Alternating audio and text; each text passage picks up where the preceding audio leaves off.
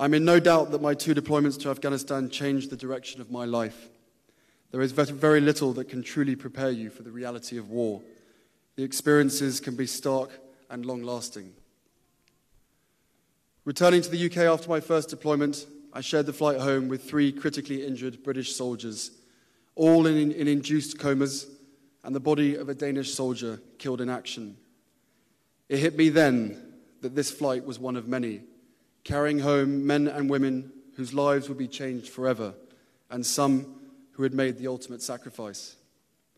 From that moment, I knew I had the, uh, the responsibility to help all veterans who had made huge personal sacrifices for their countries to lead healthy and dignified lives after service. So thank you for everything that you have done. I joined the Army in 2005. Men and women who had not only adjusted to life, but embraced it, proving that what can be achieved post injury rather than focusing on what cannot. The Invictus Games seeks to change perceptions of physical and mental injury. One thing we have to talk about more is breaking down these barriers around so called invisible injuries like post traumatic stress, just as we have for physical injuries like the loss of a limb.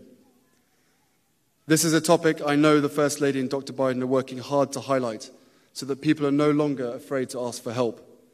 This fear of coming forward as a result of the stigma which surrounds mental health is one of the greatest challenges that veterans face today.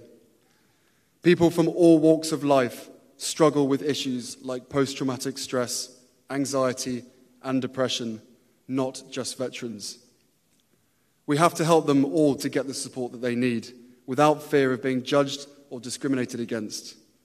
Not only is it okay to talk about it, we have to talk about it.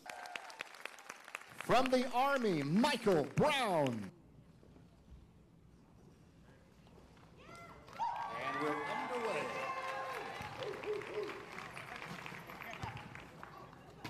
Bulldogs with the basketball. Blake off the glass. Good opportunities for both teams here they come down the floor.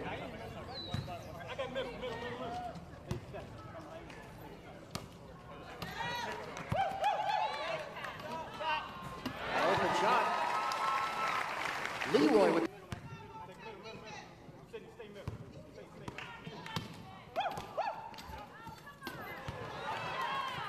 Ball's knocked away and we've got a steal.